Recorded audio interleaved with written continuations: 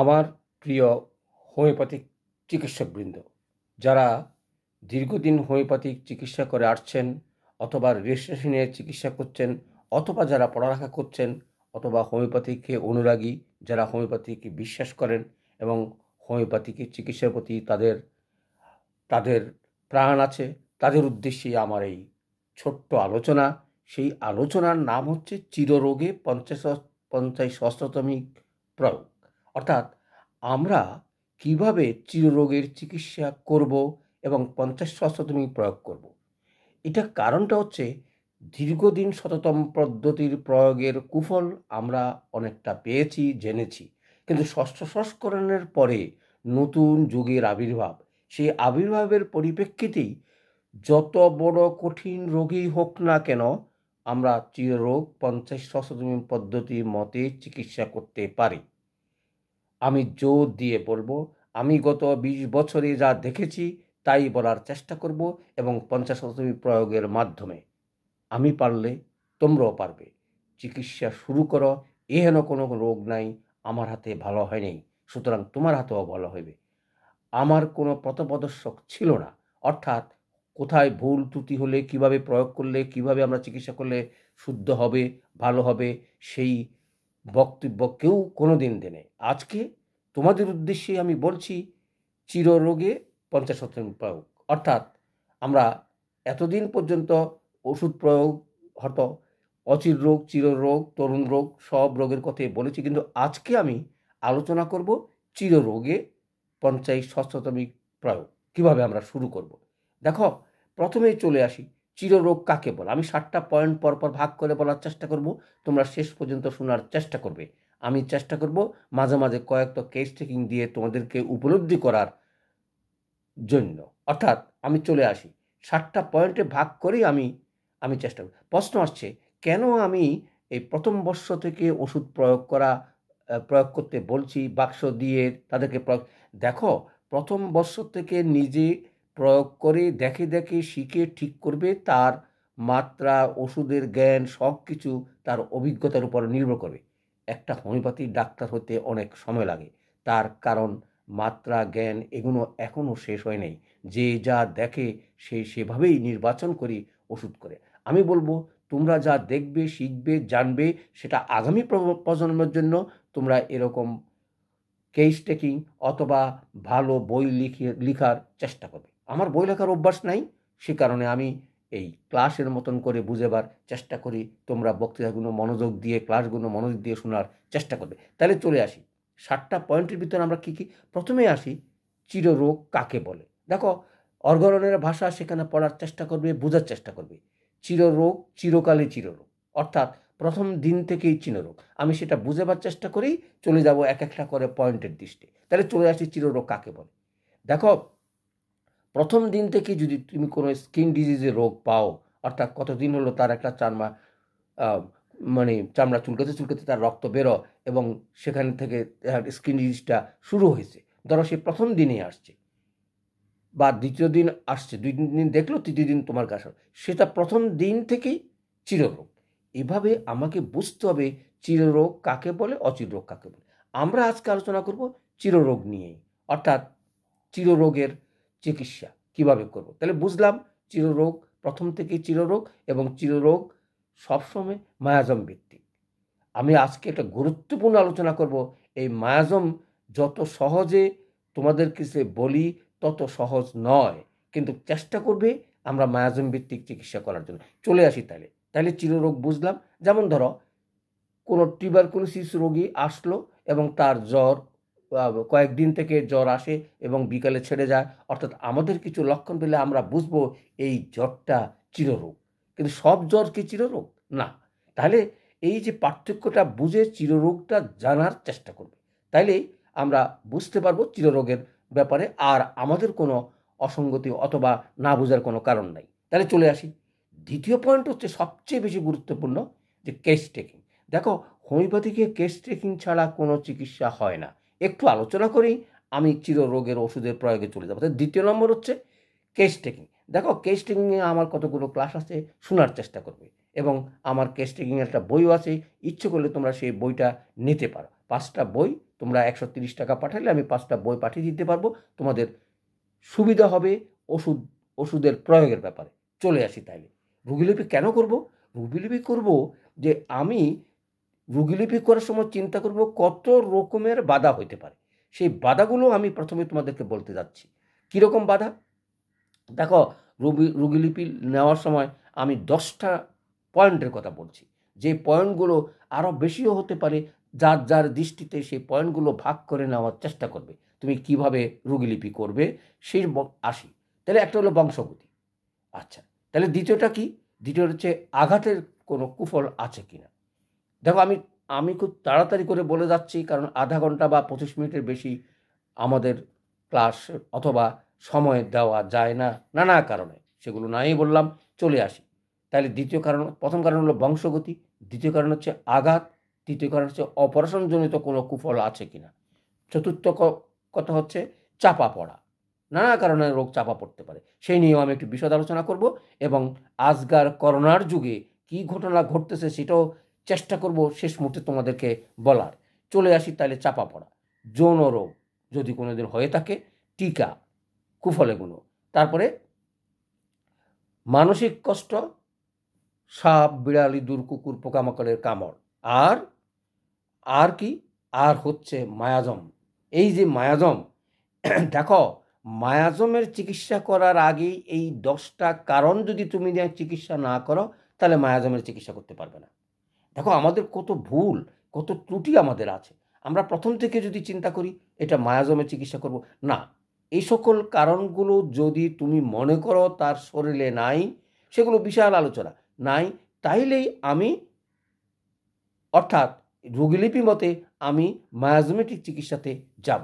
এই কারণগুলো থাকলে তাহলে আমি আমি আমি আমি যেতে পারি না মায়াজমে। মায়াজমে যাব, এই এই লক্ষণগুলো যদি আমি আমি আমি চিকিৎসা করে তারপর আমি মায়াজমে যাব।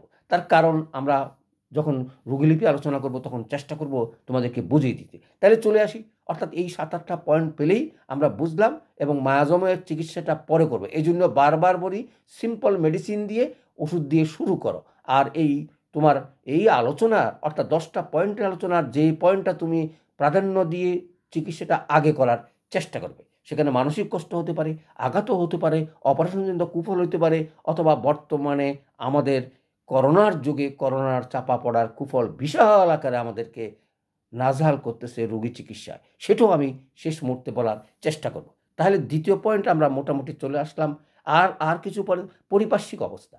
অর্থাৎ দেখো সব কিছু ঠিক থাকলেও আমরা যদি পরিপার্শ্বিক অবস্থার কথা বর্ণনা না করি, তাহলে আমরা রুগীলিপি নিতে পারব না এবং পঞ্চাশতমি পদ্ধতি চিররোগী ব্যবহার করতে পারব না। ধরো একটা ম্যালেরিয়ার রুগী সাথে ঘরে বসবাস করে অথবা তার দীর্ঘদিনই সাথে ঘরে বসবাস করে, তাইলে তার তো তুমি এই সাথে ঘর পরিষ্কার না হলে তার এই শ্বাসকষ্টের রোগী তুমি চিকিৎসা করতে পারবে না। তারপরে এরকম যে বাধাগুলো আছে সেগুলো আমি চার পাঁচটা পয়েন্টে ভাগ করার চেষ্টা করছি। প্রথম ভাগ হচ্ছে পরিবেশ, অর্থাৎ ঘর, দুয়ার, আলো, বাতাস খেলে কিনা, এগুলোর দিকে এগুলোর দিকে নজর রাখা আর নোংরা পরিবেশ। অবশ্য আজকালকার আমাদের যুগে নোংরা পরিবেশ অনেকটা কমে আসছে, যেটা আমাদের আমাদের আমাদের পরিপার্শ্বিক অবস্থা থেকে আমরা অনেকটা উন্নত করেছি। আবহাওয়া আবহাওয়া যদি খারাপ থাকে অথবা প্রচণ্ড ঠান্ডা পড়তেছে, অথবা প্রচণ্ড গরম পড়তেছে, তাহলে আমরা কীভাবে করব? আমরা সেই দিকে নজর রাখা উচিত। অর্থাৎ আবহাওয়াটা কেমন, কোন পরিবেশে তার এই রোগটা হলো? নেশাগ্রস্ত। সেটা তো তোমরা জানো, ধূমপান, অমুক, অথবা আমরা আমরা মদের কথা বলতে পারি। দেখো একটা শ্বাসকষ্টের রোগী, সে ধূমপান করে, অথবা তামাক পান করে, আবার কেউ অন্য রোগ, তাহলে তার তাহলে তার আমরা তো চিকিৎসা দিয়ে তার এই শ্বাসকষ্ট ভালো করতে পারব না। এই সকল পরিবেশের মধ্যে লক্ষ্য রাখতে হবে। তা না হলে তুমি ডাক্তারি বা চিররোগ করতে পারবে না। একদিনে, দুই দিনে ডাক্তার হয়ে যাবা, এটা সম্ভব নয়। এই জন্য চার বছর প্ল্যান নিয়েছি। চার বছর পর্যন্ত তোমরা যদি প্রয়োগ করতে পারো তাইলে আমরা দক্ষ ডাক্তার হওয়ার আশা করি। চলে আসি তাইলে। তারপর কি? তারপরে ঘুম, অর্থাৎ অঘুমা থাকা, অর্থাৎ ঘুম না আসা, ঘুমের ব্যাঘাত ঘটা। তারপরে তারপরে দেখো শুভ চিন্তা না করা, কুচিন্তা করা যৌন চিন্তা করা। অর্থাৎ এই যে মানসিকতা এইসব মানসিকতাকে তুমি তুমি পরিবেশগুলো দূর করতে না পারো তাহলে তোমার চিকিৎসা হবে না।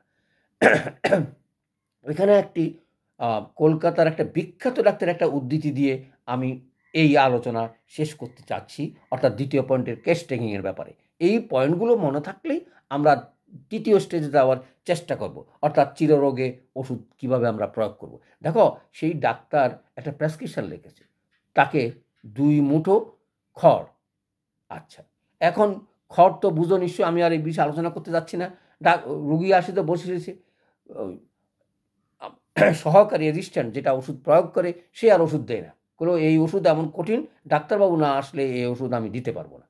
ডাক্তারবাবু তো সেই বিকালবেলা ঘুরি গাড়ি সব, খুবই বিখ্যাত ডাক্তার। আসি, বলে, কোলে ওষুধটা দিলে না কেন? তো বলে, স্যার, কী লিখছেন? বলে, আমি লিখছি, খড় কিনে দাও, তিন মুঠো। অর্থাৎ তিন আটি ঘর কিনে, খড় কিনে দাও, সে ঘর ঠিক না করলে তার চিকিৎসা হবে না। কেন বলছি? এই পরিবেশগত কারণে বলছি। অর্থাৎ তার ঘরে বৃষ্টি পড়ে সেই রুগী, নিমোনিয়ার রুগী, তো বৃষ্টি পড়ে ঠান্ডা লাগবে বা বর্ষাকাল বলো আর শীতকাল বলো, তার যদি ঠান্ডাই লাগে, তাহলে নিউমোনিয়া রুগী তো কোনো দিন ভালো হবে না। পরিবেশ চাই। আমি এই কারণে বলছি, আমাদের এই পরিবেশ অথবা পথ্য অথবা অনেক কিছু তোমাদের যেগুলো অনেক সময় আমরা নাও বলি, সেগুলো থেকে তোমরা লক্ষ্য রাখার চেষ্টা করবে। তা না হলে আমরা চিকিৎসা করতে পারব না। তাইলে আমাদের দ্বিতীয় পয়েন্ট শেষ। অর্থাৎ এই উদাহরণ দিয়ে বুঝাতে চেষ্টা করলাম, তোমরাও চেষ্টা করবে, সকল পরিবেশ তার, আমার পক্ষে আছে কি না আমি ওষুধ প্রয়োগে যাব কিনা? এবং প্রয়োগে গেলে কাজ হবে কিনা? আমি রুগীলিপিনিকে কী কী পয়েন্ট ঠিক করেছি? কোন কোন পয়েন্টের উপরে আমি চিকিৎসা করে আমি রিলিফ অথবা সেবা দেওয়ার চেষ্টা করব? তাহলে চলে আসি। এবার আসলাম যেটা, চিররোগে ওষুধ প্রয়োগ। এবার আমি ওষুধ প্রয়োগ করতে যাচ্ছি। অর্থাৎ আমি রুগীলিপি দেখে প্রথমে আমি অত আমি বারবার করে বলি, প্রথমে আসলে সিম্পল মেডিসিন দেওয়ার চেষ্টা করবে, অথবা এই সকল বাধা পাইলে সেগুলো দূরবর্তী দেওয়ার চেষ্টা করবে। আমরা অনেক সময় বলি নাক্স দিয়ে আমরা এক বোতল, অর্থাৎ তার কোনো না কোনো কারণবশত যদি কোনো লক্ষণ থাকে নাক্স দিলে সুন্দর লক্ষণ প্রকাশ করবে, সেই আশা এক দুই বোতল দিয়েই রুগীকে বলি কদিন পরে ওষুধ শেষ করে আসেন। অর্থাৎ ওষুধ চলাকালীন তাকে রিলিফ দেওয়ার চেষ্টা করবে। আমি এই কথা বলছি না। যে সবসময় তুমি এটা করবে। কারণ তোমার অভিজ্ঞতা না হলে তুমি এ সকল জিনিস প্রয়োগ করতে পারবে না। তোমার প্রথম থেকে যদি তুমি প্রয়োগ যেইটা লক্ষণে এসেছে, যে কোনো কারণে সেটা বেড়ে যেতে পারে। সেটা যেন না বাড়ো, আসলে ঠিক কিনা, আসলে লক্ষণটা সঠিক কিনা সেই জন্য আমরা নাক্স দিয়ে শুরু করতে পারি। আমি কথা বলছি না, সবসময় নাক্স দিতে হবে। আমি চলে আসি, এটা আমি শেষ শেষ সময় আমি বলব, করোনার কুফল আমি কীভাবে দেখতেছি মানুষের শরীরে, সেটি আলোচনা করার চেষ্টা করব। তাইলে কি আসলাম? এখন ওষুধ দেবো। কীভাবে দেব? কোন মাত্রা দেব? এবং কীভাবে আমি ঠিক করব? দেখো, প্রথমেই আমি বলছিলাম, তুমি প্রথমেই কোনো চিররোগের চিকিৎসা করতে গেলে দুইবারের বেশি কখনো দিবে না। অর্থাৎ দুইবার, আমার স্ট্যান্ডার্ড দুইবার থেকে শুরু। এক দিনে সকাল, বিকাল খালি পেটে দেওয়ার চেষ্টা করবে। রাত্রে ঘুমাবার আগে ইয়ে রাত্রে খাওয়ার আগে এবং সকালবেলা টিফিন করার আগে খেয়েই টিফিন করবে। তাহলেই আমাদের কাজগুলো তাড়াতাড়ি হওয়ার চেষ্টা করবে। তাহলে আমি বুঝে গেলাম, অর্থাৎ আমার এমওয়ান পঞ্চাশ শতাংশ পদ্ধতির এমওয়ান আমি দিনে দুবার প্রয়োগ করার চেষ্টা করব।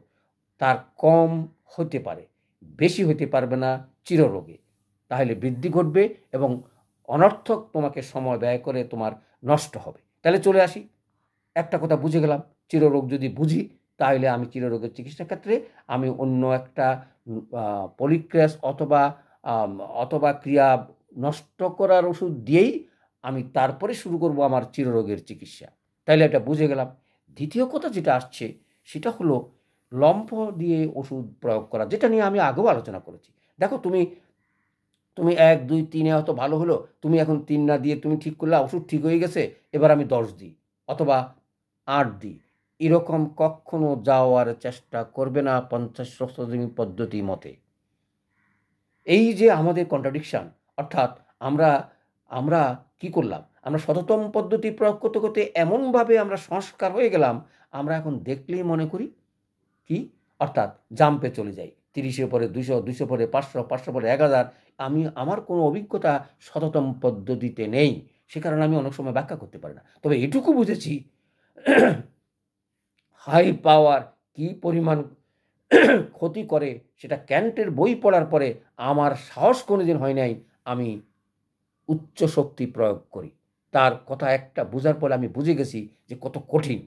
কিন্তু পঞ্চাশ পদ্ধতি আমাদেরকে সহজ করে দিয়েছে। তুমি এক থেকে শুরু করলা, দিনে একবার করে, সাত দিন দেখলা অবজারভেশন করলা, দ্বিতীয় ডোজ দিবা কি দিবা না, তারপরে সেটা কতক্ষণে দিবা এবং কীভাবে দিবা? বাড়লে কি হবে, না বাড়লে কী হবে? তাহলে আমি বুঝে গেলাম লম্প দিয়ে পঞ্চাশ শতাংশ পদ্ধতি প্রয়োগ করা যাবে না। পর্যবেক্ষণ হচ্ছে সেখানে সবচেয়ে বড়। তৃতীয় কথা হচ্ছে সেবনে যেন ভুল না হয়। যেমন ধরো দরবার ঝাঁকি দিল না। তাহলে ওষুধে কি কাজ করবে? করবে না। তুমি যদি আরএস না দাও, কাজ করবে না। তারপরও আরএস না দিয়ে আমি তরুণ রোগের একটা ভিডিও আমি করেছি, সেটা দেখার চেষ্টা করবে। তাহলে চলে আসি, সেবন যেন ভুল না হয়। তৃতীয় যদি কাজ না হয়, তুমি এগুলো ঠিক দিয়েছ। কাজ না হলে কী হবে, কী বুঝতে হবে যে ওষুধের গুণগত মানের কোনো অসুবিধা আছে। অর্থাৎ দেখো, সেই কারণেই আমি বাক্সটা করেছি। কারণ পঞ্চাশ পদ্ধতির ওষুধ যদি সঠিক না হয়, আমি তো ডাক্তার তৈরি করতে পারব না। সেই কারণে বাক্স দেওয়া। সেই কারণে একশোটা পদ, ছটা বাক্স, প্রথম বাক্স হয়তো তোমাদের জন্য, প্রথম বর্ষের জন্য আমি করেছিলাম যে এগারোশো টাকা দিয়ে প্রথম বর্ষ শুরু করো। কেন? এই যে শুরু করতে করতে তুমি একশো পদের ব্যবহার শিখবে, জানবে, প্রয়োগ করবে, নিজের চোখে দেখবে, তাহলে তো তুমি ডাক্তার হবে। চার বছর পড়ালেখা ছাড়া এখনই তুমি প্রয়োগ করে আমাকে টেলিফোন করবা, স্যার রুগী তো পাইছে, আপনি একটু ওষুধটা বলে দেন। আমার লজ্জা লাগে এরকম ফোন, কোনো কেউ যদি ফোন করো। আমি বলছি, পরপর তিনবার চেষ্টা করো, ফেল করলে আমাকে চিকিৎসা, সেটা কাদের জন্য বলছি? যারা ফোর্থ ইয়ার শেষ করে ডিএসএমএস কোর্স কমপ্লিট করে রেজিস্ট্রেশন নিয়ে চিকিৎসা শুরু করেছে। তাদেরকে বলছি, তিনবার ফেল করলে তোমরা ফোন করো। যারা ফার্স্ট ইয়ারে পড়ো, তারা ফোন করার কোনো প্রয়োজন নেই। তোমরা প্রয়োগ করো, দেখো, নিজে নিজে শিখাও। আমার কাছে কিচ্ছু নাই। আমি ভিডিওতে সব বলে যাচ্ছি। তুমি খালি তোমার একটু বুদ্ধিমতো দিয়ে তুমি প্রয়োগ করো। তুমি প্রথম বৎসরে পড়ো, তুমি স্বর্গ রোগের চিকিৎসা করবে আর আমি আমার কাছে ফোন করবে, এটা তোমরা করতে যেও না। আমার আমার বিশেষ করি আমার অসুবিধা হয়। যাও, চলে আসি তাহলে। তাহলে কাজ না হলে কি বুঝলাম? গুণগত ওষুধের মানের অভাব, সেই জন্যই আমরা ওষুধগুলো দেওয়ার চেষ্টা করছি। তোমাদের হাতে পঞ্চাশ দিনের বাক্স দিয়েছি, ওষুধগুলো সঠিক। তাহলে এই পয়েন্টে আমরা দেখব সঠিক ওষুধ যেন, অর্থাৎ নির্ভুল ওষুধ যেন, অর্থাৎ গুণগত মানের ওষুধ যেন আমরা সংগ্রহ করে প্রয়োগ করতে পারি। তারপরে পরিবেশক উত্তেজক কারক ওই যে বললাম, আমি ওষুধ দিলাম, তুমি ধূমপান করলা, মদ পান করলা, গাঁজা খাইলা বা অনিয়ম করলা, কোনো কোনো কিছু করলে না, তাহলে চিররোগও তোমার কোনো দিন তোমাকে ছাড়বে না। অর্থাৎ আমাদের এই বাধা, তুমি যদি অনিয়ম করো, সেই বাধা থেকে তোমাকে দূরে রাখার চেষ্টা করতে হবে। তা না হলে চিকিৎসা কোনোদিন হবে না। দেখো, আমরা এতগুলো চিকিৎসা, আমাদের জটিলতা হতো না যদি আমরা প্রথম থেকে নিয়ম শৃঙ্খলাগুলো মেনে চলি অথবা ওষুধ প্রয়োগ করি। তাহলে চলে আসি। তাহলে শেষ কি? বিঘ্ন সৃষ্টিকারী কোনো কিছু। যেমন ধরো, অশ্বের রোগী। অশ্বের রুগীরে আমি চিকিৎসা করতে যাচ্ছি, যেটা আমাদের ওষুধ আসছে, আর সে নিত্য মাংস খায়। তাহলে তার কোনোদিন রক্ত বন্ধ হবে না। ওষুধ চলাকালীন নিয়ম শৃঙ্খলা মতে তাকে মাংস পরিত্যাগ করতে হবে। তা না হলে তার এই গুণকে উত্তেজক কারণ বলা হয়। এ সকল কারণ থেকেই দূরে রেখেই আমরা পঞ্চাশ শতমী প্রয়োগ, অর্থাৎ চিররোগে প্রয়োগ করার চেষ্টা করব। কোনো পরিপার্শ্বিক অথবা পরিবেশ অথবা দৈহিক কোনো বাধা তার আছে কিনা। আর চাপা পড়া রোগ। এই চাপা পড়া রোগ নিয়েই আমি আলোচনা করব। এই চাপা পড়া রোগ তোমরা নিশ্চয়ই জানো, যারা হোমিওপ্যাথিকে পাশ করেছ আর যারা নতুন, তারা পড়তে থাকো, জানতে থাকো, শিখতে থাকো। অনেক বিশাল, চার বছরে এটা পড়ে জানা সম্ভব নয়। কেন প্রয়োগের কথা বলছি? প্রয়োগ করি আমি একটু তাড়াতাড়ি চিকিৎসা করার কথা বলছি।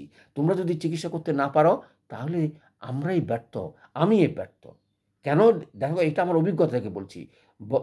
ভালো ভালো ব্রেইনি ইঞ্জিনিয়ার অমুকেরা পাশ করে হোমিওপ্যাথিক ছেড়ে দিয়েছে। করে না। এবং কার কারণ? জিজ্ঞাসা করলাম, বলছে, এত কিছু পড়ার পরে হোমিওপ্যাথিক প্রয়োগ করে আমরা চিকিৎসা দিতে পারব না। এই কারণে হোমিওপ্যাথিক ছেড়ে দিয়েছি। আর আমরা যারা অল্প পড়ে নানা রকম মতামত নিয়ে শতদম পদ্ধতি, অমুক পদ্ধতি মাত্রা জ্ঞানের নাই, আমরা কিন্তু প্রয়োগ করেই আমরা নষ্ট করছি হোমিওপ্যাথিকের সুফলকে। আমি বলব, একটু ধৈর্য ধরে চিকিৎসা করো, সুফল দেখো। তোমাদের হাতে সকল রকমের রোগ এলোপ্যাথিকে ফেল করে তোমরাই চিকিৎসা করবে। যদি ঠিক মতন তোমরা তৈরি হইতে পারো। কোনো রোগ নতুন করে চিন্তা করা কোনো প্রয়োজন নেই। আমাদের অর্গনন ভিত্তিক চিকিৎসাটা করার চেষ্টা করবে। আর পঞ্চাশ শতাংশ পদ্ধতি এবং রুগীলিপি তাহলে চলে আসি। তাহলে আমাদের তৃতীয় পয়েন্টও শেষ। তাহলে চতুর্থ কি? চতুর্থ, বৃদ্ধি ঘটলে কি হবে? আমি প্রথম মাত্রা দিলাম পঞ্চাশ শতাংশ পদ্ধতি। কিন্তু তারপরেই বৃদ্ধি ঘটল। তখন আমরা কি বুঝব? দেখো, ওষুধ প্রয়োগ যদি সঠিক হয় এবং প্রথম মাত্রাতেই যদি চিররোগের ক্ষেত্রে বেড়ে যায়, তাহলে তোমার জন্য আমি বলব শুভ ফল। অর্থাৎ ওষুধ সিলেকশন তোমার রাইট অর্থাৎ এবার আমাকে কি করতে হবে? মাত্রা বড় হয়ে গেছে, মাত্রা কীভাবে কমাবো সেই চেষ্টা আমাদেরকে করতে হবে। তাহলে চলে আসি তাহলে বৃদ্ধি ঘটলে কি বুঝলাম? অর্থাৎ প্রথম ডোজ অর্থাৎ প্রথম মাত্রা এম ওয়ান বা এম টুতেই রোগীর বেড়ে গেল। তাইলে বুঝতে হবে আমার চিররোগের ক্ষেত্রে আমার ঘটনা সঠিক, সুতরাং মাত্রা বড় হয়েছে। মাত্রা কীভাবে কমাতে হবে সেটা একটু বলে যায় না হলে তোমার মাত্রা কমাতে হবে। দিনের দুইবারের জায়গাতে একবার, অথবা এক গ্লাসে পানি মিশাই এক চামিচ, অথবা একদিন পর পর, অথবা ওষুধ দুই দিন পর পর, তোমার মাত্রা তুমি ঠিক করতে হবে। দেখো, এই এই জন্যই বলো অবজারভেশান অর্থাৎ পর্যবেক্ষণ তোমাকে এত, এখন থেকে না করলে বুঝতেই পারবে না ডাক্তারি কত কঠিন, কত সুন্দর, কত আনন্দ পাবা এবং চিন্তা করতে পারবে না। চলে আসি তাহলে। তাহলে মাত্রা বড় হলে আমরা বুঝলাম, এরকম ঘটনা ঘটতে পারে। আর কি ঘটতে পারে বৃদ্ধি?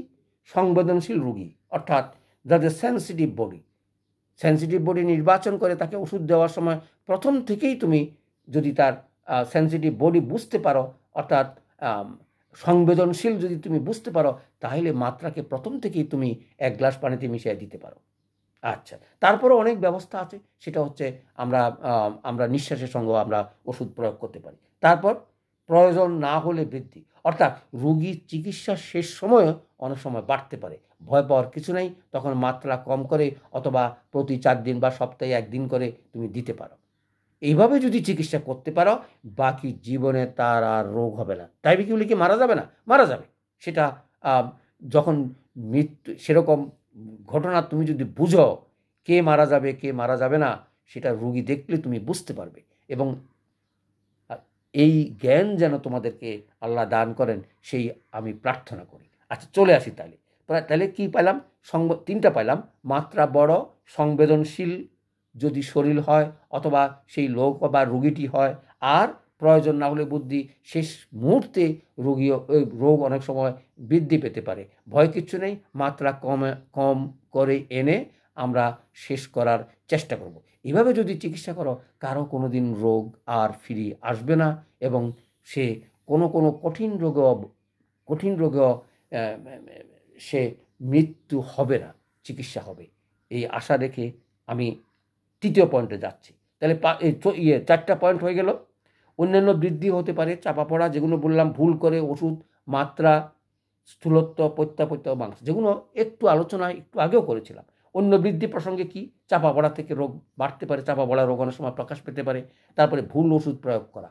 তুমি হয়তো ঠিক করে ওষুধটা ঠিক হয়ে নেয় কীভাবে বুঝবা?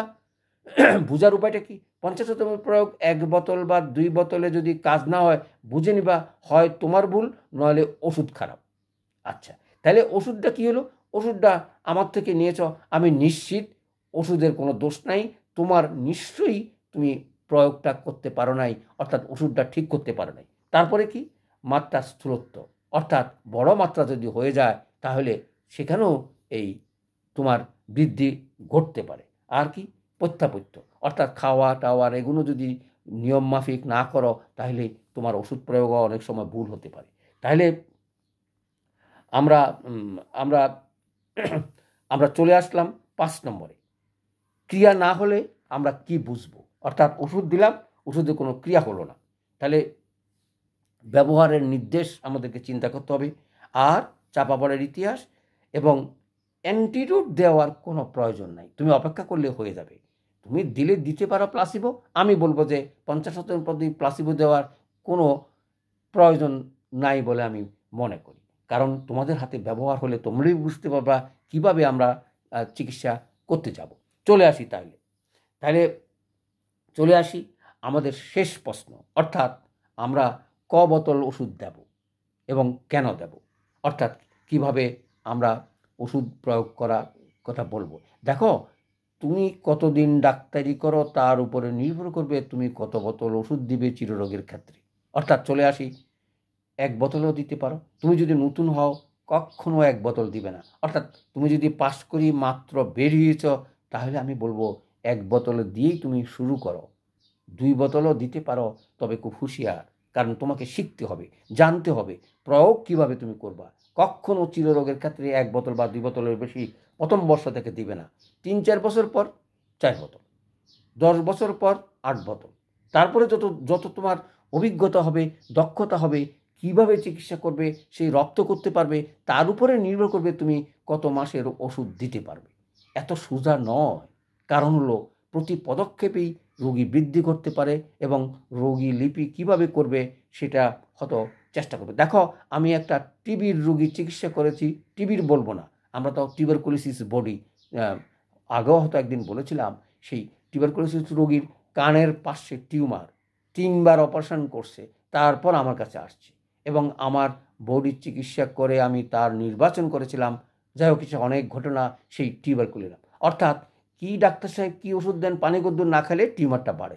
এই করে করে চল চচল পাঁচচল্লিশ বোতলের উপরে তাকে ওষুধ দিয়েছি, তারপর চিকিৎসা হয়েছে। সুতরাং তোমরাও go to go higher dose সকল ওষুধ যে লাগবে আমি তেমন কথা বলছি না। সেখানেই মায়াজমের কাজ। সেখানেই মায়াজম, আমি অন্য চিকিৎসা শেষ করে আমি মায়াজমে যাব। এই বাধাগুলো, এই যে দশ বারোটা বাধাগুলো বললাম, এগুলো যদি চিকিৎসা না করো, কুফল যদি চিন্তা না করো, তাহলে কখনো তুমি চিররোগের চিকিৎসা করতে পারবে না, পঞ্চাশ দিন প্রয়োগ করতে পারবে না। তারপরে এইভাবে আমাদেরকে আর একটা ক্যান্সার রুগী একশো পর্যন্ত দেওয়া হয়েছে আর্সেনিক। তাহলে দেখো, যতক্ষণ পর্যন্ত আর্সেনিক দিই, সে ভালো থাকে। না দিলেই তার ট্রাভেলস আমি কথা বলব না যে সেই রুগীকে এক মাসের বেশি বাঁচবে না বলছিল এলোপ্যাথিক, আর আমার হাতে চার বছর এই আর্সেনিক দিয়েই তার চিকিৎসাটা করেছি। যাই হোক, আমরাও, তোমরাও সেভাবে চিকিৎসা করার চেষ্টা করবে। একই দিনে ডাক্তার হবে, শিখবে, এটা ঠিক না। আর সব কথা আমি বলব, এটাও ঠিক না। তোমরা তোমাদের দৃষ্টিতে দেখবে ওষুধটা ঠিক আছে কিনা, আমার প্রয়োগটা ঠিক আছে কিনা, আমি কীভাবে যাব এবং আজকের পরে আমার মনে হয় তোমাদের আর কোনো বাধা নাই। আমি বলছি, তুমি যদি এক বছরের ডাক্তার হও, অথবা প্রথম বছর থেকে শুরু করো, এক বোতল বা দুই বোতলের বেশি কখনো ওষুধ দেওয়ার চেষ্টা করবে না। বছর যাবে, তোমার জ্ঞান বাড়বে, তুমি তোমার মতন করে প্রয়োগ করবা, দুই বোতল দিবা না, চার বোতল কিনা দেখো, আমিও তো দিই। যেমন অনেকগুলো রুগীর আমি জানি, কীভাবে আমি চিকিৎসা করে শেষ করব, সেখানে আমি অত আট বোতল, দশ বোতল দিতে পারি। এক মাস বা দুই মাসের ওষুধও দিতে পারি।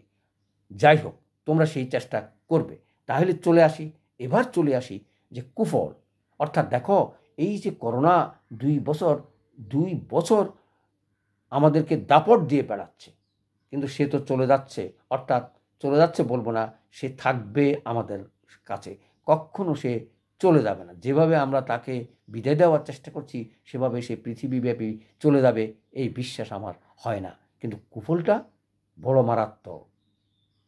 সেই কুফলের কথা বলেই আমি তোমাদেরকে শেষ করব আজকে। তাহলে এই করোনার যুগে তুমি যদি বুঝতে পারো তার তার কুফল আছে, তাহলে আমি বলব এক বোতল, দুই বোতল arsenic, M one, M two দিয়ে যেটা আমরা নাক্স দিয়ে শুরু করতাম, সেরকম তোমরা প্রথমেই আমি বলব এই যে কুফল, অর্থাৎ দশটা রোগের কথা বললাম, আর আজকে বললাম, করোনার কুফল তুমি যদি নষ্ট না করো, তাহলে তার বডি কখনো তুমি চিকিৎসা করতে পারবে না। তাহলে আমি কি বললাম? দুই এক মাত্রা আর্সেনিক দিনে দুবার করে দিয়ে দুই বোতল শেষ করার চেষ্টা করবে। তাহলে যত রকম যত রকম করোনার কুফল আছে, সুতরাং সে তার আর কুফল থাকবে না। এটা মাথা রাখার চেষ্টা করবে। তোমাদের কাছে আসবে, দেখো, আমার কাছে আসছে অনেক রুগী।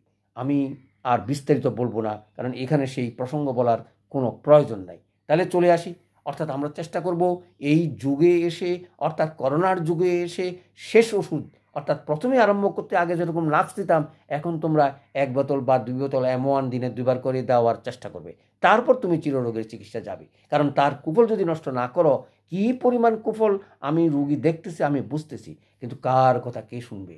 আমাদের যারা হোমিওপ্যাথিকের, তারাই জানে এই অর্থাৎ কোনো রোগের কুফল, যেমন আমরা হামের কুফল, আমরা মামসের কুফল, যেমন আমরা অনেক কুফলের কথা জানি। সেই হিসেবে আমরা করোনার কুফলের কথা জেনে arsenic M one, M two প্রথমে ব্যবহার করার চেষ্টা করবে, দিনে দুইবার করে। তাহলে চলে আসি আজকের এই চিররোগের পঞ্চাশতমী প্রয়োগ। এটা তোমরা দেখার চেষ্টা করবে। আর একটা কথা, ডাক্তার শঙ্কর স্যার ইউটিউবে সাবস্ক্রাইব করে সঙ্গে থাকার চেষ্টা করবে। সবাইকে ধন্যবাদ।